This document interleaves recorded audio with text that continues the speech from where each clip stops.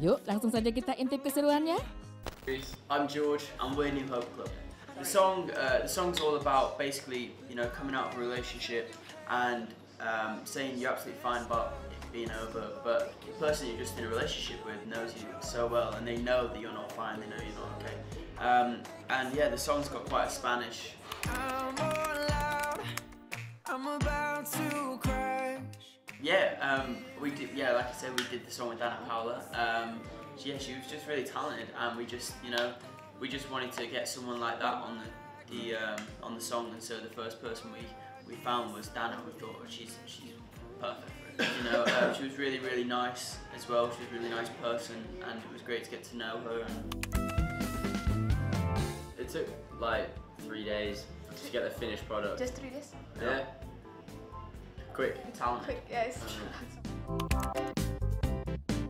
So it feels feels it feels really cool.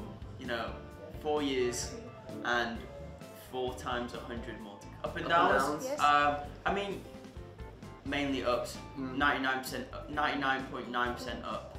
You have like the, the minutes where you're like, oh, I'm tired today. But I mean, that's with everything. But we Yeah. honestly, we, we are living the absolute dream. Honestly, it's unreal.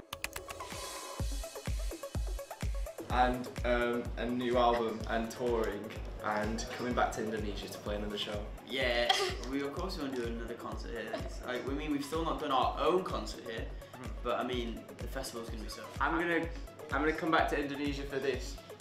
Tempe. Tempe. Tempe. Yeah, we've eaten a lot of Indonesian food. Um, in our hotel, they have like this buffet, and it serves a lot of like Indonesian foods, I think. But uh, we've been eating them. I just don't remember the names, but they're very good, very delicious. And it comes rushing back.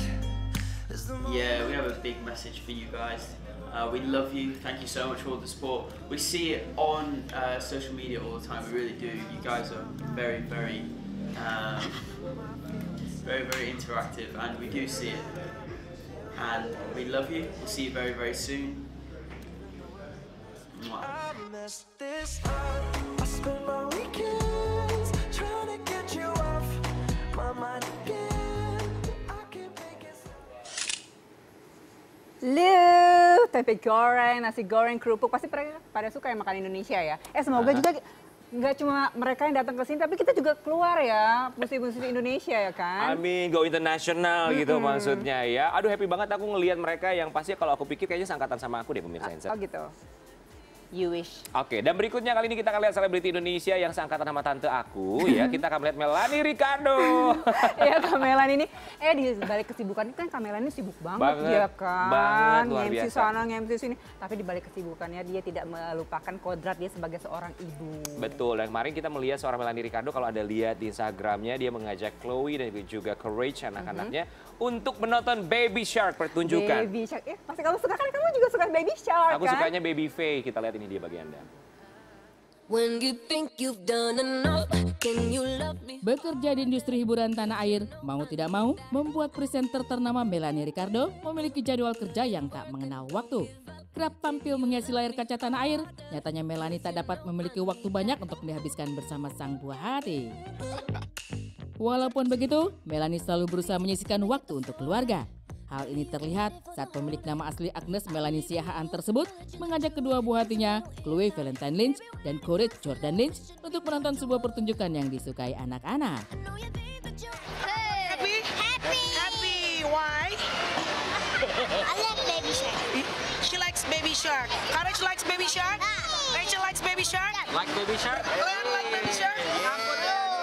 So everybody likes baby shark. Jadi semuanya everybody's happy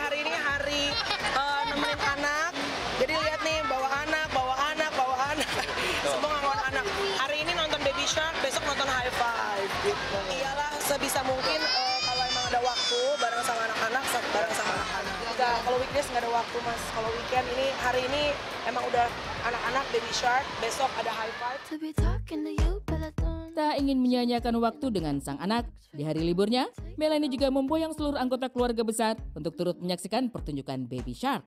Meski kelelahan dalam menjaga kedua buah hatinya, istri dari Tyson James Lynch ini pun tetap tanpa bahagia bisa melihat kedua anaknya menikmati waktu bersama.